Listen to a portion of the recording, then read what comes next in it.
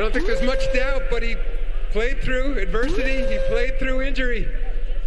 No doubt, given he was the two-time MVP in the league, this year's Bill Russell.